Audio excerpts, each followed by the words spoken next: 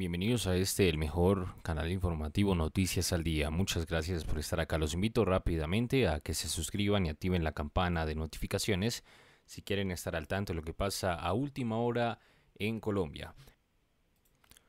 Iván Duque ordena retirar la reforma tributaria. Luego de cuatro días de protestas y la petición de sectores del liberalismo, Cambio Radical, entre otros, Iván Duque le pidió este domingo al Congreso retirar la reforma tributaria y tramitar de manera urgente un nuevo proyecto en consenso con los parlamentarios y sectores de la sociedad civil. Recuerden dejar un comentario en este video y un me gusta también para apoyar a nuestro equipo investigativo. Se aclara que no se sabe qué tan real sea este tipo de información. Hay que comprobarlo eh, verdaderamente y nada, muy importante es su argumento.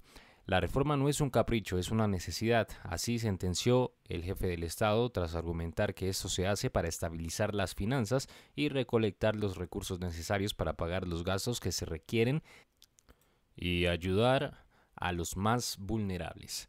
Retirarla o no no era la discusión, la verdadera discusión es poder garantizar la continuidad de programas sociales como prolongar el ingreso solidario, brindar educación universitaria gratuita a jóvenes de estrato 1, 2 y 3, extender el subsidio a la nómina a través de PAEF y extender la devolución del IVA, así puntualizó.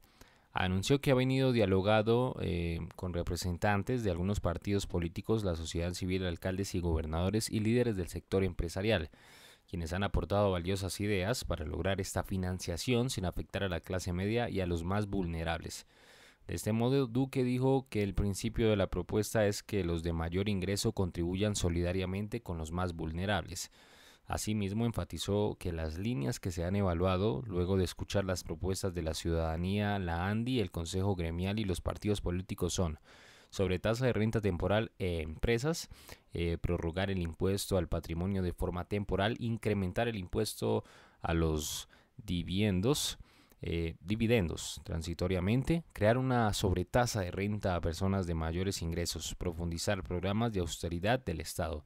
También fue enfático en que el consenso despeja percepciones y reiteró que no habrá incremento para el IVA de bienes y servicios y ni se cambiarán las reglas existentes, tampoco aumentará la base del impuesto de renta. El mandatario también invitó a la construcción y no al odio ni a la destrucción. Es el momento de trabajar en conjunto entre todos y sin mezquindad. El propósito de construir un consenso solidario nos debe permitir proteger a los más vulnerables, las finanzas de la nación y la reactivación de nuestro país. Así es como sigue afirmando. Hay que recordar que este viernes Duque ordenó sustituir el texto de la reforma con una ponencia sustitutiva, no obstante ahora pidió retirar la reforma. Con esto el gobierno busca dar eh, terminados los paros y salvar la reforma tributaria, entre comillas, ¿no? Ahora el gobierno y los partidos se sentarán a concertar cómo será el nuevo proyecto. ¿Qué opinan de esta información? Nuevamente los invito a que se suscriban y activen la campana de notificaciones si quieren estar al tanto de lo que pasa a última hora. Recuerden dejar un comentario en este video y un me gusta también para apoyar a nuestro equipo investigativo. Gracias por estar acá. Esto es Noticias al Día.